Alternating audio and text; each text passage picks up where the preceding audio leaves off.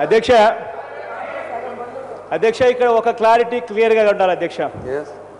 Statement అనేది చంద్రబాబు నాయుడు గారు ఇస్తే దాని తర్వాత మీరు ఏం చేయబోతారు అని అంటే క్లారిఫికేషన్స్కే మీకు పర్మిషన్ ఇస్తున్నాము.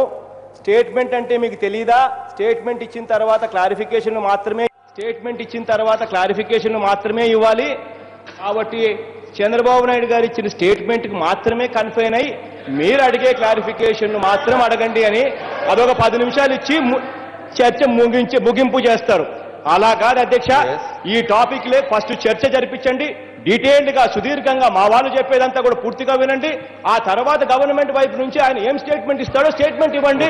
ఆ తర్వాత మేము క్లారిఫికేషన్ అడుగుతాం. అంతేగాని. ఆ కార్యక్రమమే జరగకోకుండా. ఆ కార్యక్రమమే జరగకోకుండా ఆ చంద్రబాబు నాయుడు గారు స్టేట్మెంట్ ఇచ్చేస్తారట. ఆ తర్వాత మా క్లారిఫికేషన్లకు మాత్రమే మాకు తావిస్తారట. ఓ పది నిమిషాల్లో అయిపోయి చేస్తారట.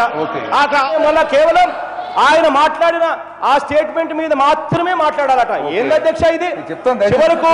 చివరికి ఎంత ఎంత దయనీయమైన పరిస్థితి అంటే. అధ్యక్ష అంబేద్కర్ గారిని కూడా చివరకు అంబేద్కర్ గారిని కూడా రాజకీయ అవసరాల కోసం వాడుకుంటా ఉన్న అద్వానమైన పరిస్థితి బహుశా దేశ చరిత్రలో కూడా ఏది ఉండదు అధ్యక్ష